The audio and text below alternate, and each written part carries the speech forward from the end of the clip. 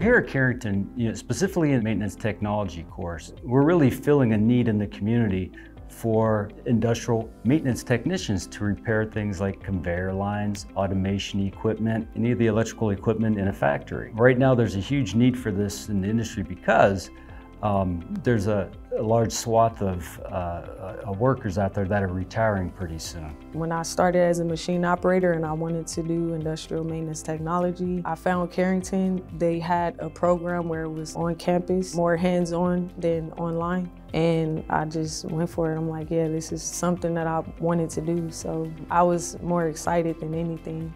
The thing that makes this program really um, special is we teach 10 weeks of industrial electricity, and we also do 10 weeks of programmable logic control training.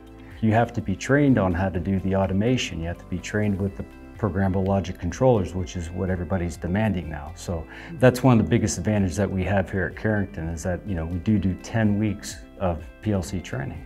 My instructor makes it so easy to understand. Like if he if he see that you don't understand something, like he's gonna explain it in any way possible for you to understand, which I love about him. If you like to make things with your hands, if you like to do some knowledge work, but you also like to build things, this is the perfect program. Everybody is nice, very helpful, and the instructors are so hands-on to the point to where it makes you want to come, it makes you want to learn, it makes you want to be here. So I'm really happy with the decision I made. Timing is everything, and right now in this country, the timing is perfect to get in, into a, a career like this.